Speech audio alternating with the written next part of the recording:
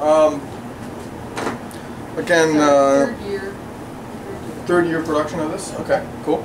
Um, so right now we uh, have uh, the honor of actually uh, drinking a Barbera. Um, not too many producers of Barbera in the state of Washington, about uh, a dozen to about 15.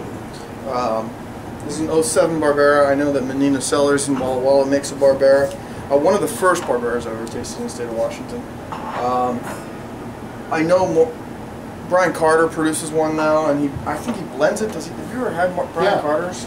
Does he blend Yeah, that it's sucker? the- yeah, it's what, what is it? It's three things. Uh, It's a triple, right? He Yeah. always blends his stuff, which is kind of wicked. I forget the name. It's Oriana, maybe? Oriana, maybe, yeah.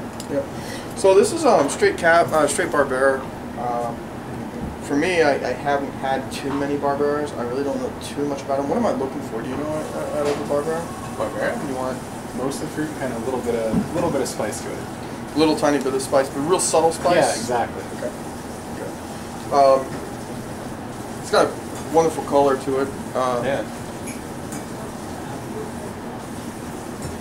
Um, pretty good price point on 25, 25 bones on this one. Um, yeah, I got spice. I got dark spice, like Yeah. dark pepper on the back end. Yeah, On the nose. Yeah. The nose a bit on the finish. A little bit on the finish too. You got that too. Mmm.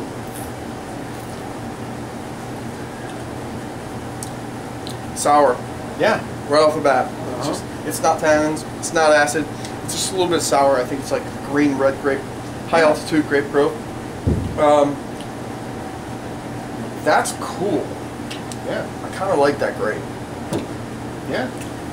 They do. If I never gone that way, there's a really good winery out in Lake, Lake Chelan also makes one like. Really? I think do. Yeah. So there's a bunch of them out there. This is a good one. Uh-huh. All right. So the we just had the uh, 2007 uh, Ryan Patrick Barbera. Um, it's really good. I mean, it's totally different. Start drinking Barberas.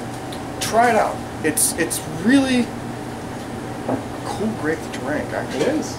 It's totally different.